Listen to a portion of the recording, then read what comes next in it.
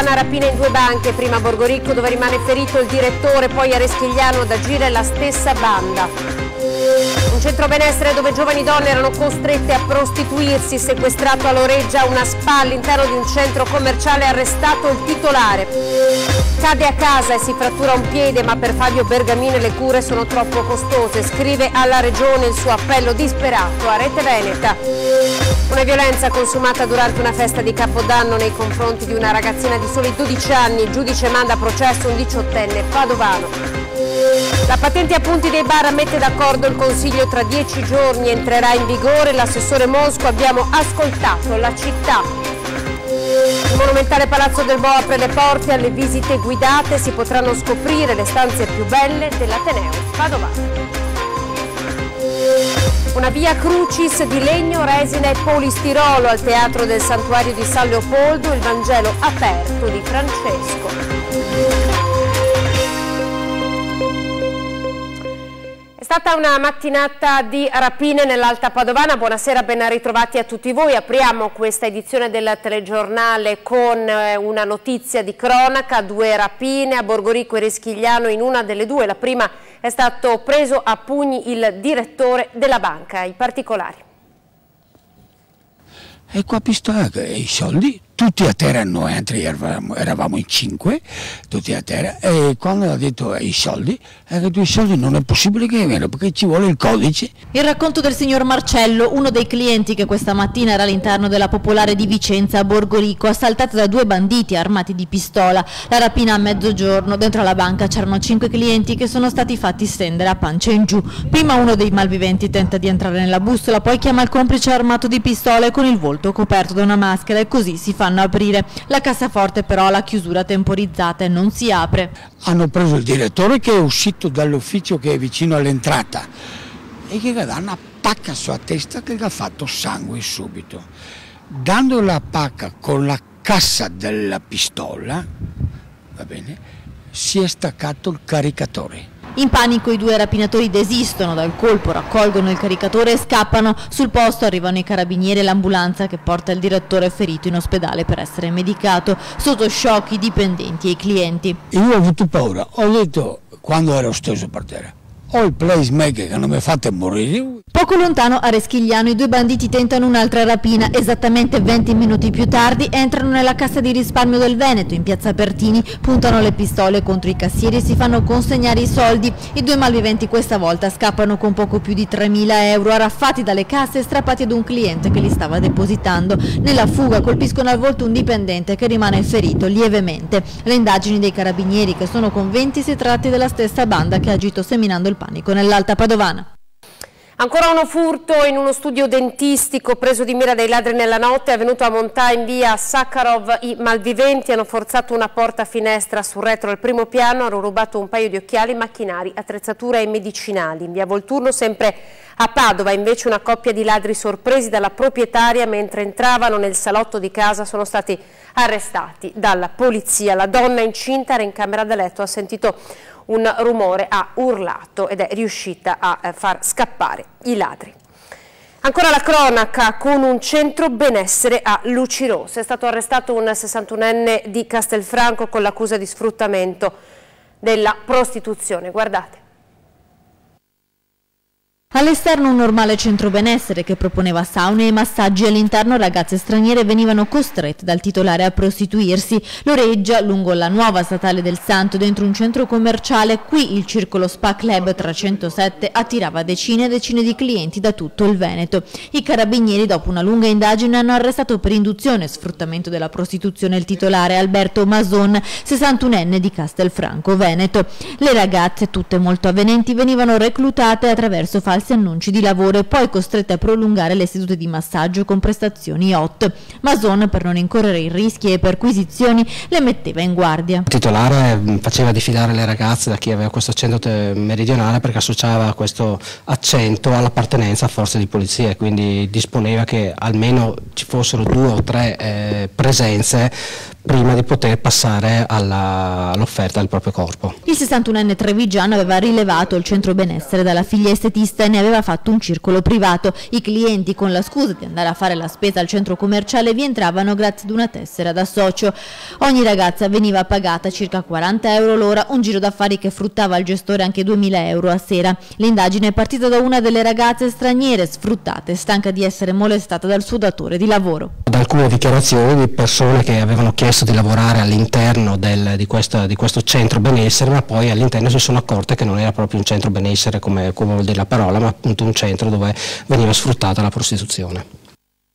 Violenza sessuale ai danni di una ragazzina di soli 12 anni è successo lo scorso anno a Capodanno, a processo un ragazzo padovano di 18 anni. La Procura della Repubblica di Padova ha chiuso le indagini, si appresta ora a chiedere il rinvio a giudizio. Gli abusi sessuali si sarebbero verificati durante una festa tra ragazzi organizzata dalla sorella sedicenne della vittima nell'abitazione di queste ultime in un comune dell'Interland di Padova. Il 18enne sotto accusa è padovano come la vittima e frequenta le scuole superiori.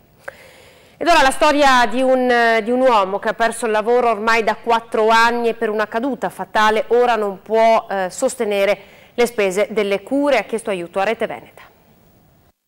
La Regione, eh, per merito di, di vari funzionari, mi ha risposto che le, eh, le leggi sono uh, queste. Non avere nemmeno i soldi per curarsi, per pagare un ticket di pronto soccorso da 53 euro né tantomeno i successivi esami che una caduta fatale in casa obbligherà a fare. È la storia di Fabio Bergamina, disoccupato di Padova da due anni parzialmente invalido. Oggi lui sta pagando a caro prezzo il fatto di essere proprietario di una casa, perché questa voce insieme all'occupazione, per quanto precaria della moglie, fa salire il suo ISE a 16.000 euro, mentre l'esenzione sanitaria è contemplata calcolata soltanto per chi ha un reddito inferiore agli 11.362 euro. So di superare la soglia, la quota eh, che è imposta dalla regione, però uh, con la moglie non ho neanche i soldi per vivere, per mangiare. Chiedo cortesemente una deroga, una, um, una cosa temporanea. Senta, che lavoro faceva lei prima? Lavoravo dalla Fratelli Sartori. Fabio ci mostra le caviglie, sono così ad un mese dalla caduta ed è evidente che dovrà fare altri esami e sottoporsi ad altre cure. La sua condizione rischia però di non poterglielo permettere, per questo Fabio ha chiamato Rete Veneta per lanciare un appello in questi giorni di Pasqua e cercare un lavoro. Se qualche azienda è in ascolto, eh, che cerca una persona come me, eh, ho 53 anni, però sono ancora giovane dentro, posso fare il magazzino, l'autista consegnatario, giardinaggio, in produzione, qualche azienda se vuole in sede della rete, rete Veneta eh, ci sono i miei contatti. Come cambierà la città con la nuova patente a punti dei bar? Sicuramente i bar potranno tenere aperto almeno un paio d'ore in più, ma dovranno comportarsi bene. Allora sentiamo l'assessore Mosco, per la prima volta la patente a punti ha messo d'accordo tutto il Consiglio ieri sera. La patente appunti dei bar mette tutti d'accordo, anche se ovviamente il banco di prova saranno poi le piazze. La Giunta infatti si è data un anno di tempo per sperimentare la novità del patentino che permetterà per la prima volta attraverso un meccanismo che premia i bravi e punisce chi sgarra di tenere le serrande aperte di tutti i bar fino alle 2 di notte in centro, fino alle 5 fuori dal centro. Partirà da 20 punti di base e potrà, mm, si potrà raggiungere fino a un massimo di 30 punti.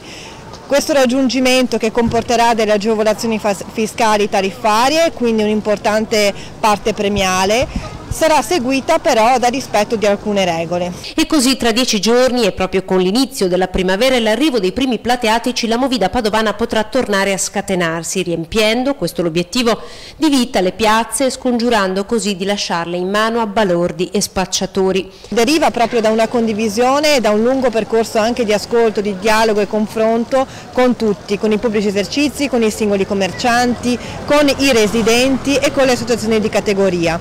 Da questo percorso abbiamo fatto una sintesi. Sanzioni più morbide ma pugno duro nei confronti dei recidivi. Dieci giorni ora per organizzarsi e poi la patente a punti diventerà parte del DNA degli esercizi pubblici padovani.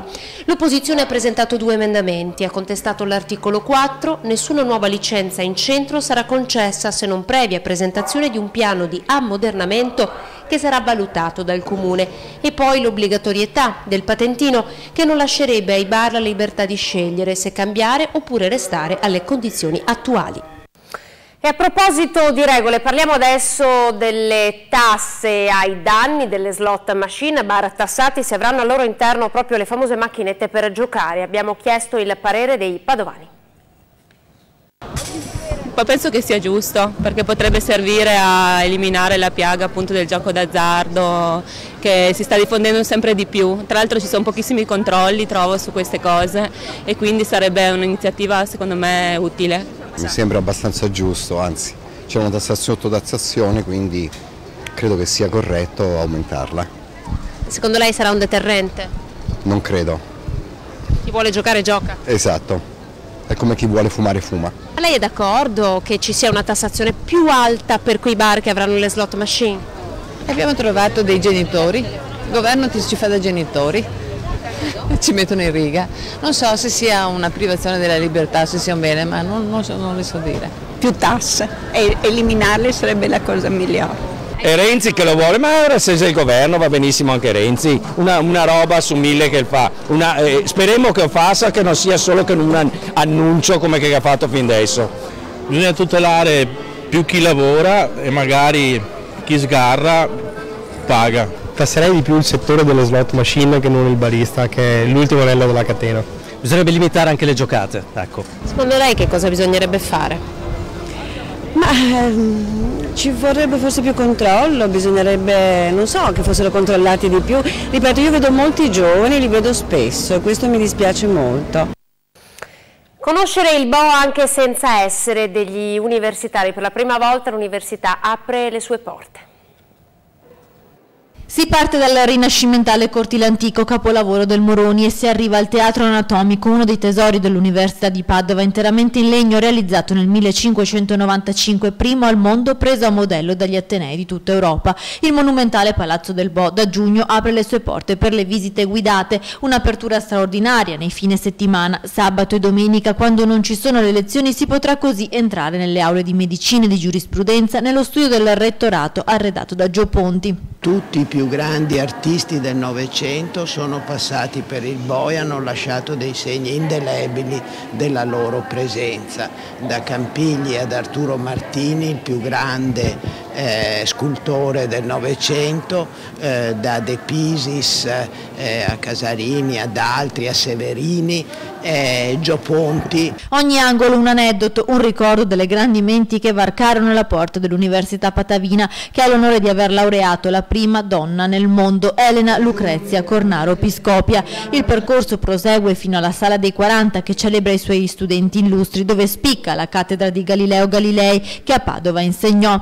Si arriva così all'Aula Magna, in pochi sanno che in origine era una sala da pranzo del grande albergo del Bo, acquisito dalla fine del 400 dall'Università, nata a Padova nel 1222. L'aula è passata alla storia per aver ospitato nel 1921 una lezione di Albert Einstein. La scienza si intreccia alle vicende umane, la storia si fonde con l'arte e l'architettura in uno dei luoghi che i padovani amano e ora potranno scoprire ancora di più. Allora oggi in questo venerdì santo andiamo insieme al santuario di San Leopoldo per farvi vedere una via crucis molto particolare.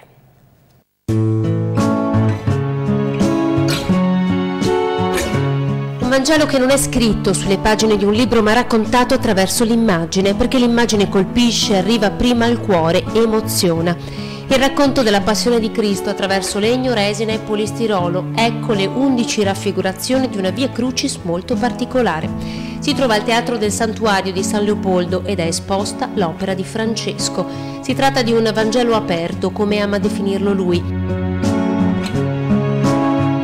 ed ecco i soldati di guardia, Gesù sulla croce accanto ai ladroni, il suo corpo adagiato dentro al sepolcro e la devozione delle donne che pregano per lui. Dopo tanti sacrifici, dopo tante sofferenze che ci sono dietro qua, credo che noi alla fine possiamo essere un, un 1% diciamo, delle sofferenze diciamo, che ci possono essere passate da qua. Per realizzare questa Via Crucis ci sono voluti quattro anni, ma è molto tempo che Francesco ha in mente di realizzare questo lavoro anche dopo l'esperienza vissuta a scuola. L'esposizione rimarrà al santuario fino al 12 di aprile. Nel quaderno, in entrata, la testimonianza del passaggio dei tanti visitatori, la più grande ricompensa per il suo lavoro. Vedo che riesco a dare tanta emozione alla gente anche um, andando via o per quello che mi scrivono anche sul libro dove mh, delle testimonianze, diciamo così, mi dicono, vedo gli occhi lucidi, gli, gli occhi lucidi della gente. Questa sera Focus chiude la settimana con grandi temi di attualità e eh, politica. In studio insieme al direttore Luigi Baccialli ci saranno Michele Basso, Settimo Gottardo, Laura Puppato, Fabrizio Borona, Rinaldo Veraldo, Silvano Piazza e Nicola Finco. Come sempre ovviamente attendiamo numerosi i vostri messaggi. È tutto, grazie per essere stati in nostra compagnia, un buon proseguimento di serata su Rete Veneta. Arrivederci.